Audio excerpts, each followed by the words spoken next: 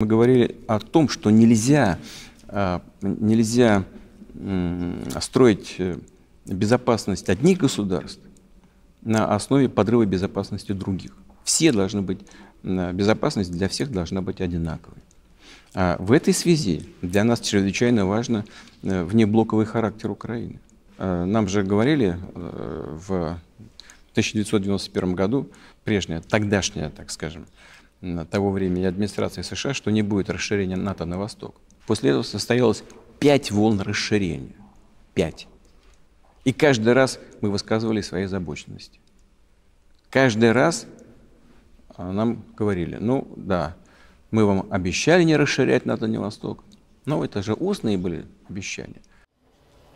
А, а как же договариваться, если каждый каждая администрация будет что-то менять с нуля, с центра поля все начинать.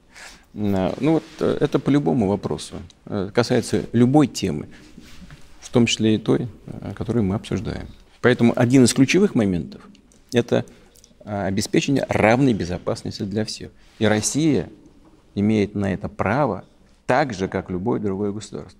И если мы считаем, что расширение НАТО за счет Украины создает для нас угрозы, мы просим, чтобы это услышали.